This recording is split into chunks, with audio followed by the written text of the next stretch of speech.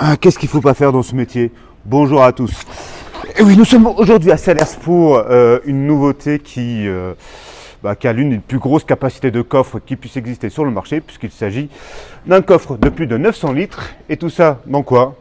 Dans la nouvelle Skoda Kodiaq. Oui, le grand ourson tchèque, le Kodiaq, passe à sa seconde génération. Et cette seconde génération ne bah, fait pas les choses à moitié puisque le véhicule est entièrement nouveau. Bien qu'on est à peu près sur les mêmes dimensions, légèrement plus grande, légèrement plus large, euh, avec légèrement plus d'espace intérieur, mais on retrouve toutes les caractéristiques du Kodiaq qui a fait sa réputation et plusieurs centaines de milliers de ventes à travers le globe. On retrouve donc notre petit Kodiaq, Kodiaq, Skoda, Kodiaq. Oui, c'est ça. Oui, il ne faut pas se confondre quand même les choses. Et donc, que propose ce euh, Kodiaq Eh bien, on va le faire le point tout de suite.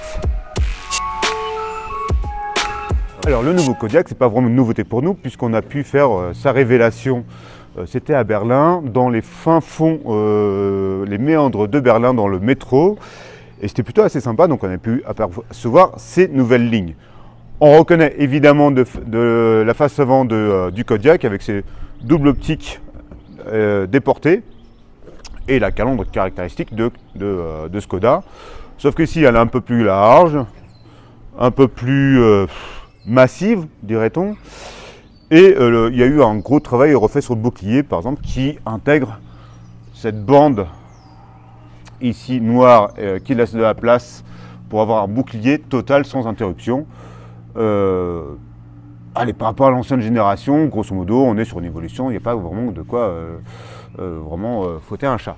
La plus grosse évolution stylistique se fait sur le profil et sur l'arrière.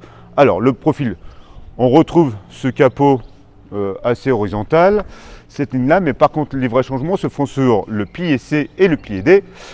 Comme vous pouvez voir ici, euh, vous avez une continuité euh, des vitres et là, vous avez une, sorte de plaque qui va donner une sorte d'effet toit flottant. Ça coupe un peu la ligne. Moi, je suis pas forcément le plus fan de ça. Bon, après, les goûts les couleurs, hein, c'est le droit de chacun. La grosse évolution, c'est sur, c'est là où on va vraiment pouvoir voir la différence entre les deux générations. C'est vraiment donc euh, dans la poupe avec les feux, puisque là on retrouve à peu près les mêmes formes que l'ancienne génération, mais là les feux, ils intègrent un nouveau style en forme de C et en plus un bandeau sur la partie inférieure. Lors du reveal euh, euh, du Kodiak à Berlin, vous avez parlé d'un effet espace, ben, je confirme, hein, bien que l'espace, vous avez la bande là et le C vers le bas, là c'est un peu la même chose. Comme quoi, les, euh, designers, euh, on a l'impression qu'ils se copient.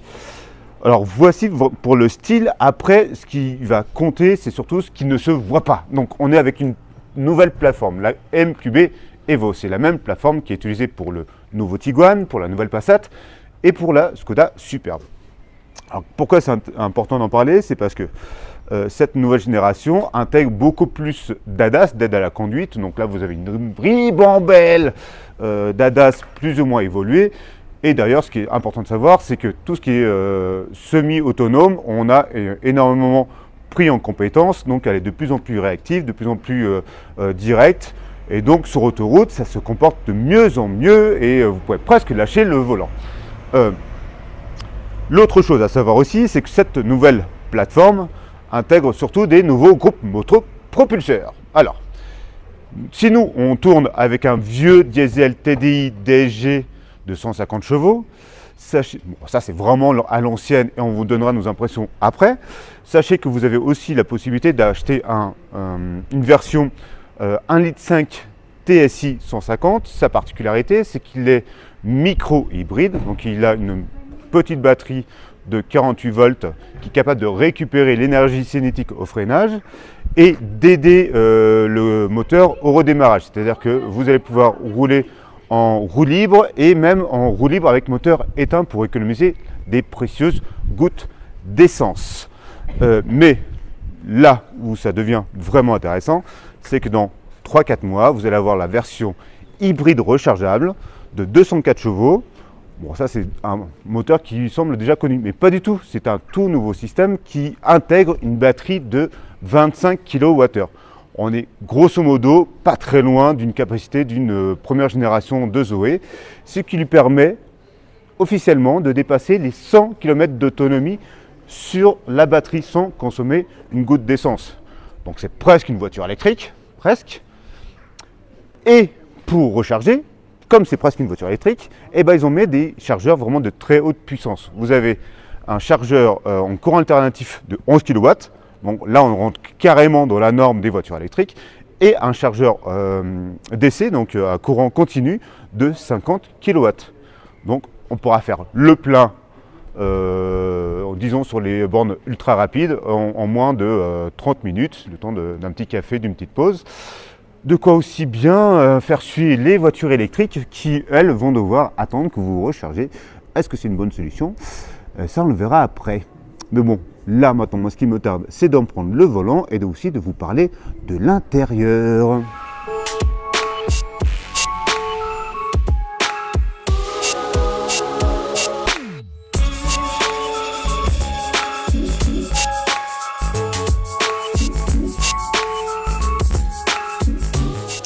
Alors l'intérieur du Kodiak, lui, a vraiment évolué par rapport à l'ancienne génération. Tout est nouveau et le style est franchement différent. Alors évidemment, vous avez, comme dans toutes les voitures modernes, bah, un écran central au plein cœur de euh, la planche de bord qui sert de multimédia, d'infodivertissement, de tout ce que vous voulez, qui mesure 12,9 pouces, exactement comme euh, la Superbe. Euh, et d'ailleurs, cet écran, sachez qu'il est de série en France il n'y a que cet écran énorme qui est ultra réactif et qui reçoit la dernière génération de multimédia du groupe Volkswagen qui est assez intéressant puisqu'ils ont euh, travaillé sur l'ergonomie avec euh, l'intégration d'une partie basse et d'une partie haute où on peut créer et générer des raccourcis. et donc là, ça fonctionne plutôt bien. Par exemple, sur la ventilation, il n'y a plus qu'un bouton à appuyer. Ou, et là, c'est génial, là, des vrais boutons là, des vrais nanomètres et tout, c'est juste génial. On, gère comme on veut et ils sont très astucieux parce que si on appuie dessus, hop, on peut gérer le chauffage ou la ventilation. Mais là, on n'a pas l'option ventilation, évidemment, il fallait que je le sache. Euh, l'autre chose aussi euh, importante qui est assez intéressante dans l'ergonomie, c'est que là, vous avez aussi le bouton central qui est un peu dans le même système. Donc là, il fait euh, radio. Mais si vous appuyez dessus, il, euh, voilà, là, il s'occupe de, il est configurable. Donc là, on peut avoir le GPS, on peut avoir encore la ventilation, euh, tous ces trucs-là. On peut mettre les impressions, les, impressions, les modes de conduite. Il est configurable et tout ça, il suffit d'appuyer dessus et de gérer avec, par exemple, voilà, le le bandeau qui arrive là, et donc là on met la carte, bon voilà, il est configurable, c'est plutôt assez bien foutu, euh, c'est une nouvelle génération qui est plutôt voilà, assez ergonomique, euh, tout en sachant qu'il y a un bémol euh, que je n'aime pas trop, c'est que la boîte de vitesse est passée maintenant en commodo, ce qui implique que c'est sur un seul commodo, celui de l'extérieur, que vous avez les clignotants, les, les essuie-glaces, et vous avez encore sur le côté tout ce qui est lumière. Donc ça commence à être un peu complexe là-dessus, c'est assez dommage.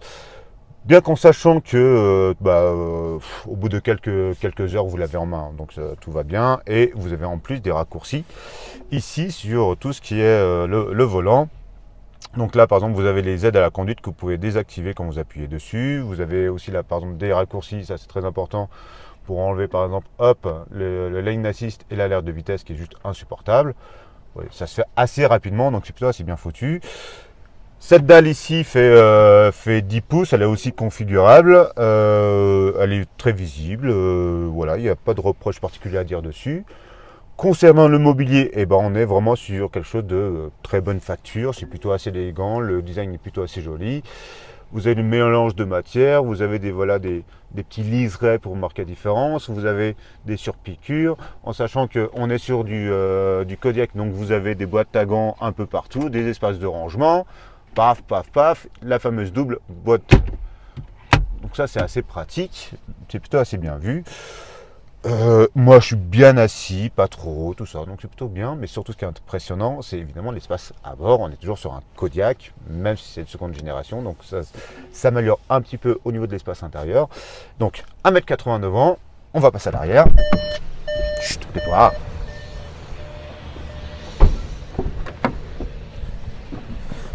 Et me voilà, 1m80 à l'arrière. Comme vous pouvez voir, je suis très très à l'aise avec là quelque chose comme euh, 15 cm pour les, pour les genoux. Donc largement de quoi m'étaler. D'ailleurs, la banquette, elle est, elle est inclinable sur plusieurs angles.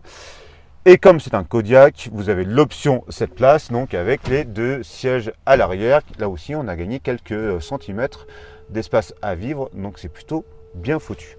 Euh, évidemment, Coda oblige, vous avez euh, tout ce qui est astuce Simply Cover. Donc, euh, vous avez un parapluie dans les portières. Vous avez, par exemple, ici, là, vous voyez bien les, des attaches, des suspensions pour, pour les tablettes, les choses comme ça. vous avez plein d'astuces comme le grattoir de givre dans, dans la trappe à essence. vous avez des des systèmes pour retenir vos bagages. Donc vraiment, euh, encore une fois, euh, on est voilà, sur, sur, du, euh, sur du Skoda qui s'est amélioré. Mais ça encore, il faut voir si sur la route, si c'est la même chose, est-ce qu'il s'est amélioré Eh bien, on va prendre notre 2 litres TDI à l'ancienne, 150 chevaux DG pour en avoir le cœur net. Mhm. Un diesel, le retour du diesel. Oh là là là, quel bonheur. Allez, je suis pressé.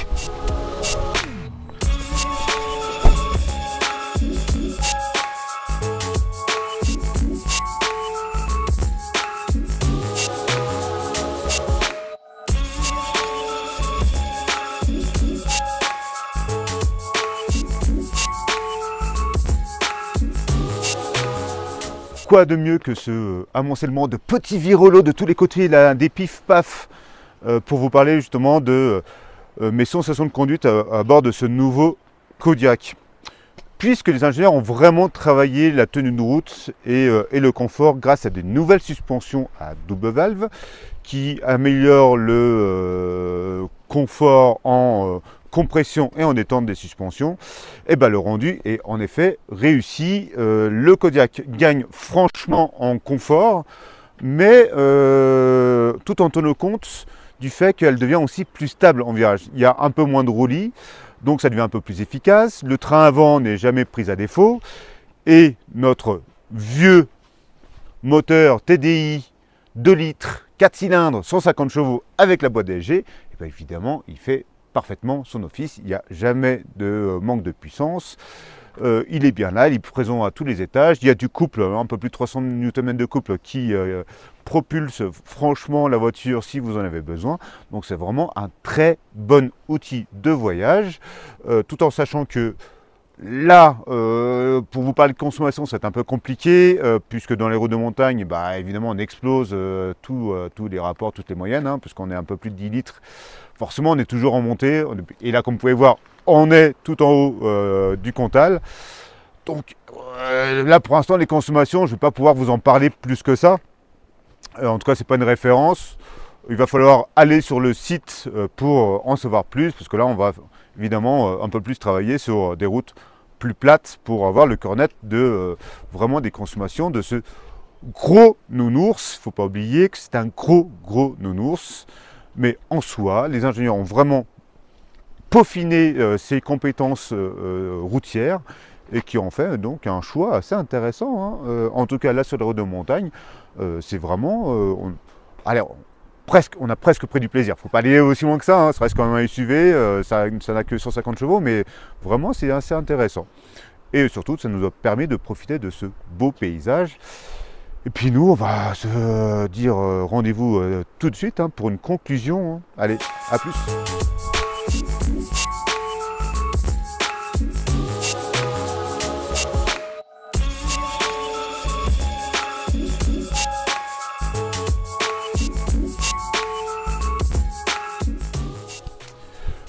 Profite euh, de notre dernier arrêt où Julien est en train de commencer les photos de l'intérieur pour vous faire ma petite conclusion. Alors, l'une des dernières informations qu'il faut vraiment euh, prendre en compte, c'est euh, évidemment euh, bah, le coût de cette nouvelle Kodiak. On est quand même à un minimum de 43 000 euros sur cette version diesel DSG.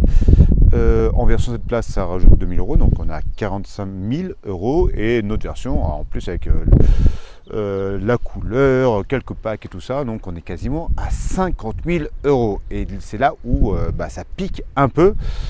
car euh, la première génération, en finition équivalente avec quelques euh, équipements, technologies en moins, était plutôt aux alentours de 33-35 000 euros. Donc on est quand même à une augmentation tarifaire de 10 000 euros d'une génération à l'autre.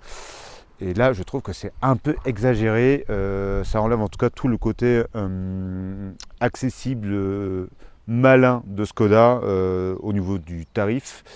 Euh, malheureusement, ils ont fait comme tout le reste du groupe et euh, même les généralistes, ils ont largement augmenté leurs tarifs. Donc là, on est à plusieurs dizaines de, pourcents supplémentaires et euh, c'est bien dommage car la première Kodiak était vraiment super bien placée en rapport prix, performance, équipement, tout ce qu'il y a. Et là, bah, elle rentre malheureusement dans le rang, cette Kodiak tout comme son design. lui aussi rentre un peu dans le rang avec des, il, est moins, pour moi, il est un peu moins élégant. C'est pas, pas moche, mais il est un peu moins élégant que l'ancienne génération. Par contre, l'intérieur est euh, vraiment euh, monté en gamme, c'est mieux fini, l'infodivertissement est évidemment de meilleure qualité. On est vraiment sur euh, quelque chose de, de, moderne. Prestations dynamiques, et ben là aussi c'est une bonne surprise. ce nouveau châssis, surtout avec ses nouvelles suspensions, offre vraiment plus de confort avec une tenue de route qui est euh, toujours euh, de, qualité. Donc ça, on perd rien du tout. On gagne un peu aussi en espace habitable. Euh, donc bonhomme allant, donc c'est une meilleure voiture, malheureusement ça se paye un peu trop cher. et c'est là où vraiment où ça, pour moi, le, bas blesse. Hein. mais malheureusement, des concurrentes, vous allez chercher une 5008, vous allez chercher une Nissan X-Trail, par exemple, cette place, on va être à peu près sur les mêmes tarifs, malheureusement. Euh, donc, euh, bah voilà, que voulez-vous, hein, euh, c'est la tendance du moment. Par contre, l'information qui est assez, intéressante, c'est que en leasing, le, prix reste quasiment identique sans, sans apport. on est à quelques centaines d'euros. Je vais retrouver ça et vous mettre ça dans le, papier. parce que c'est assez important entre les deux générations, il n'y a quasiment pas de différence au niveau du leasing, c'est-à-dire que la valeur résiduelle est assez élevée et ça leur permet de faire euh, des financements euh, voilà, au petit, euh, au petit cordeau, quoi, vraiment, voilà, le, bon, chose à vérifier tout de même. Bon, allez, moi il est temps pour moi de voir ce que Julien est en train de faire au niveau des photos et de vous donner rendez-vous pour un prochain numéro et surtout de vous dire, n'hésitez pas, je sais pas, n'hésitez pas, allez directement sur le site de la revue automobile pour voir donc les photos de Julien, mon texte un peu plus précis, vous aurez les prix, vous aurez aussi des, équipements, des articles dédiés à cela, euh, vraiment pour en savoir beaucoup plus. Allez, à plus